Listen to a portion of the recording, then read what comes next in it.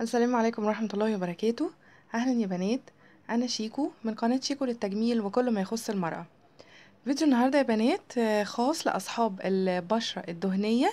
فيديو النهاردة بيتكلم عن آه، غلق المسام الواسعة. وكمان آه، تضييقها. الماسك ده يا بنات من أسهل الوصفات على الإطلاق وأبسطها طبعا على الإطلاق وأكثرها فاعلية على آه، الإطلاق. أنا بشرتي دهنية وبجرب الماسك ده آه، على طول. حلو جدا. هتحبيه هترتاحي آه، في استخدامه جدا وهتلاقي نتيجة إن شاء الله آه، بعد أسبوع من آه، استمرارك استمرارك على مداومة آه، الماسك البسيط السهل ده اللي مش هياخد منك إن شاء الله آه، تلات دقايق على بعض في آه، تحضيره.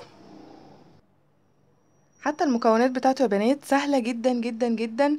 آه ما فيهاش آه أي تعقيد خالص وهتلاقيها إن شاء الله من مطبخك زي ما أنتي شايفة كده. أنا عندي آه بياض بيضة واحدة بس. بياض هفصل الصفارة على جنب وهستخدم البياض لوحده. وعندي كمان نص ليمونة. إزاي هتستخدميها؟ على بشرتك لغلق المسام. خليكي خليكي معايا لغاية آخر الفيديو. علشان تشوفي أنا هعمل بصوا يا بنات أول حاجة بياض البيضة بتاعتي أنا خدته أهو وهنزل عليه آه، بعصير نص ليمونة عصير نص ليمونة بس ما تكتريش عن النص ليمونة. حاولي الليمونة تكون كبيرة شوية علشان عصير نص ليمونة يكون آه، كافي معاكي لعمل الماسك. بعد كده هتبدأي بقى آه، تضربي البيض بتاعك كويس جدا. إيه رأيكم يا بنات في المضرب الجديد بتاعي؟ جميل. آه، شفته النهارده عجبني فاشتريته. وقلت لازم آه، أعمل على طول وصفة ببياض البيض عشان أنا بحب قوي آه، أستخدم المضرب. حلو جميل جدا وسهل وبسيط. هتضربي بقى كويس قوي قوي قوي ما تنسوش يا بنات لو عجبكم الفيديو تدوسوا لايك وتشتركوا معايا كمان في القناة لو لسه ما اشتركتوش. والبنات اللي اشتركت معايا قولوا لي إيه رأيكم في الفيديو وقولوا لي كمان حابين اعمل لكم وصفة إيه آه الفيديو اللي جاي. على فكرة الوصفة دي كمان يا بنات آه بالنسبة للبنات اللي لسه ما اشتركتش معايا دي بناء على طلبات المشتركين عندي آه طلبوا مني تضييق المسام الواسعة وخصوصا للبشرة الدهنية علشان كده أنا آه بعملها لهم. هتقلبي كويس جدا جدا.